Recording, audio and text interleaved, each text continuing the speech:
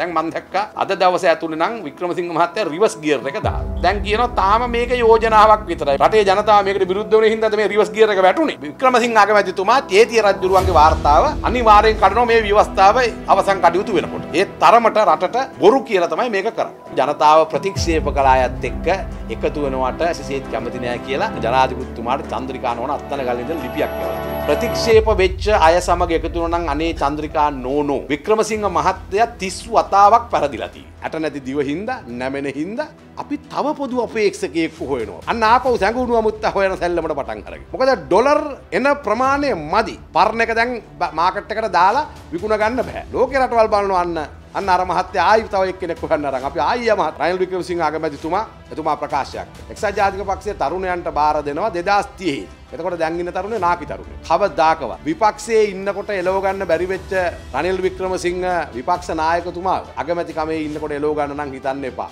වික්‍රමසිංහ මහත්තයා කවදාකවත් බයිසිකලේ පැදපු එක්කෙනෙක් නෙවෙයි කාටද කියලා පොල්ලේ දාන් ගියේ. එයා බයිසිකලේ පදින්න නැතුව කාට හරි කියන උඹ පැදපන් මාව පොල්ලේ තියාගෙන අරන් ඵලයක් දිනුම් කනුව ගාව. බයිසිකලේ පැද්දෙව පොන්සේක මහත්තයාට කියලා. ඊට පස්සේ බයිසිකලේ පැද්දෙව්වා මෛත්‍රීපාල සිරිසේන ජනාධිපතිතුමාට කියලා. දැන් හොයනවා ඊළඟට කාවද මාව දාගෙන පදින එකෙක් හොයාගන්න.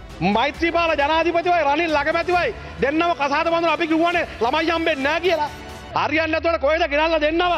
බලාත්කාරයෙන් බැන්දුවා. බන්දලේව ළමයිත් නැහැ, ගහපු පදයකුත් නැහැ, බෙරේ පළවකුත් නැහැ. තාවර රටක් තමයි දෙදස් පහල්ලවේ ජනවාරී නමවෙන්ද උදේ බාරදු. දෙදස් දහ අටේ ඔක්තෝබර් මාසේ විසි හයවෙන්ද වෙනකං වික්‍රමසිංහ මහත්තයා වැඩබිමක් බවට තිබිච්ච රට මුඩුබිමක් බවට පත් ගමන යන්න ලෑස්ති වෙලා පටන්ගත්තු වෙලේ ඉඳං දෙදස් පහලව ජන නමවෙන්ද උදේ ඉඳං ජනාධිපුත්තුමා වමට සිගනල් දානකොට රයිල් වික්‍රමසිංහ අගමැත්තුමා දකුණට හරුවන් යන්න පුළුවන් යන්න බැහැ. උම්බන්තොට වරාය විකුණලා අග්‍රාමාත්‍ය රයිල් වික්‍රමසිංහ මැත්තුමා ඒකෙන් ඩොලර් මිලියන එකක් පිනට දෙනවා. මේක හරියට අර ගෙදර දරුවන්ට කිරිබොන්න තියෙන කිරියල දෙනවා විකුණලා ඒ සල්ලි වලින් ගිල පින් කැටයකට කීයක් හරි දානවා පව් ටික හොදක. එහෙම පව් හොද ගන්න බෑ. මේ පව් පස්සෙන් එනවා. පව් පස්සෙන් එන ඉඳ තමයි දැන් අර බැඳුම් කරේට වෙලා තියෙන්නේ. දැන් ප්‍රශ්නේ තියෙන්නේ කවුද මේ අයව පත් කරේ? දැන් මේ අය පත් කරපු අයවනේ හොයන්න ඕනේ මුලින්ම. මේක මේ එක තැනකට විතර ලඝු කරලා බේරෙන්න බෑ. මේ ආණ්ඩුවම වග කියන්න ඕන. ලංකාවේ තව වරායවල් හදන්න තිබුණා මේ හොරකමේ සල්ලි වලින්. ලංකාවේ තව පාරවල් හදන්න තිබුණා. තව කර්මාන්තශාලා ඉදි කරන්න තිබුණා. දැන් හරියට දියවැඩියාව හැදිලා ඒකට බෙහෙත් බිල වකුගඩුවරක් වෙලා සම්පූර්ණම ඇඳේ දිගා වෙලා ඉන්න රෝගියෙක් වගේ මේ ආණ්ඩුව වැඩි කල් යන්නේ නැහැ. ජනාධිපතිකමාරි අගමැතිකමාරි දෙන්න අපට මොලේ අමාරුවක් නෑ කියලා. දැන් ඔබතුමා ඉන්නේ ඒ මතෙම තාමත්. අපි දේශපාලන වශයෙන් ඒ ඒ කාලවකවානුවලදී යම් යම් මත ප්‍රකාශ කරන්න පුළුවන්කමක් තිබේ. මේ වෙලාවේ මේ රට තාම අසිරුතාවට පත්වෙච්ච වෙලාවේදී ඒ වෙනුවෙන් බය නැතුව ඇවිල්ලා අගමැතිකම බාරගත්ත රනිල් වික්‍රමසිංහ මැත් තව නම් රාශියක්කට අඬ ගැව්වා.